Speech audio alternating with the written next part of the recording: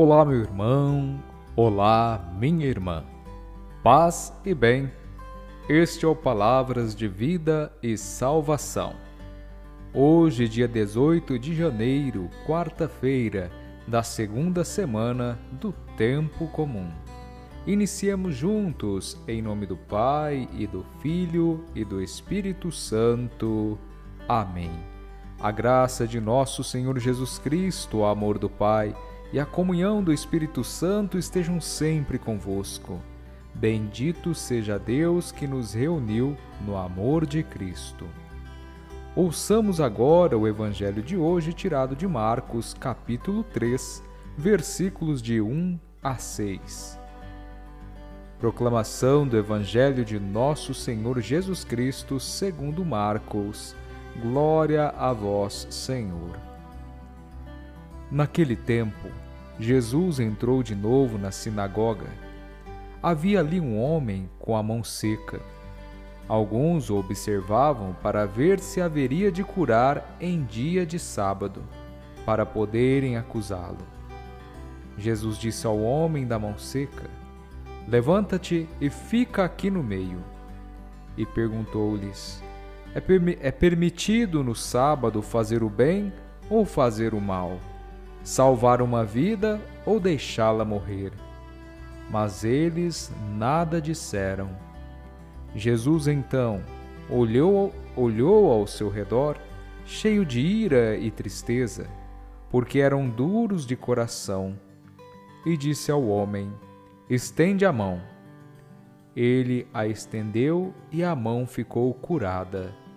Ao saírem os fariseus com os partidários de Herodes, imediatamente tramaram contra Jesus a maneira como haveriam de matá-lo. Palavra da salvação, glória a vós, Senhor. Meu irmão, minha irmã, no evangelho que acabamos de ouvir, Jesus cura um homem com a mão seca, em dia de sábado. Mas talvez vocês possam me perguntar: mas qual é o problema que Jesus cure alguém no sábado?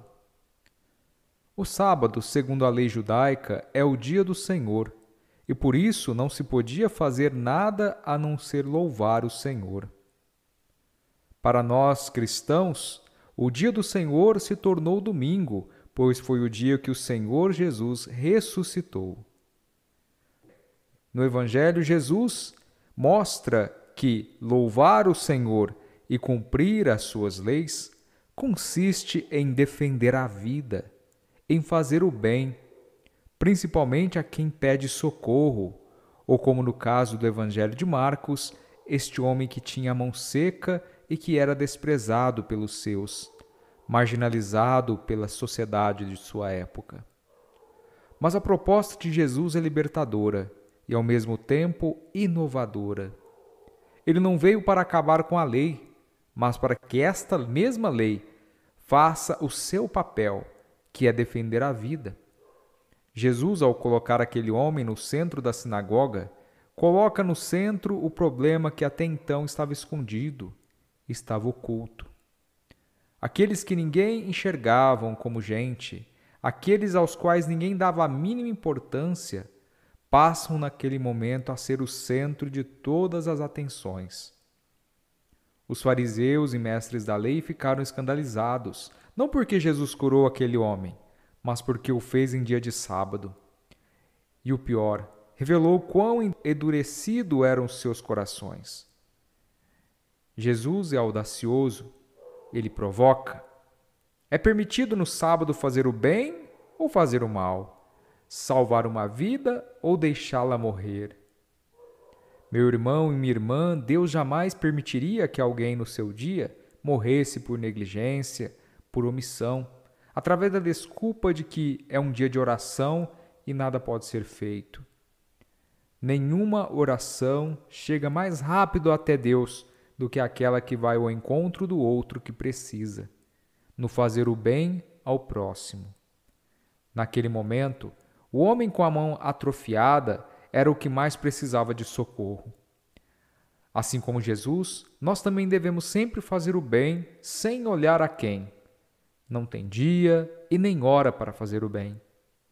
As leis existem para proteger e defender as pessoas, e não as pessoas para defender as leis.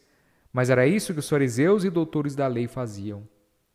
A lição de Jesus serve para todos nós. Não podemos deixar que a vida religiosa endureça o nosso coração a ponto de apenas cumprirmos, cumprirmos o que pedem as normas, o que pedem as leis. A religião deve ser sempre, ela deve sempre favorecer a vida.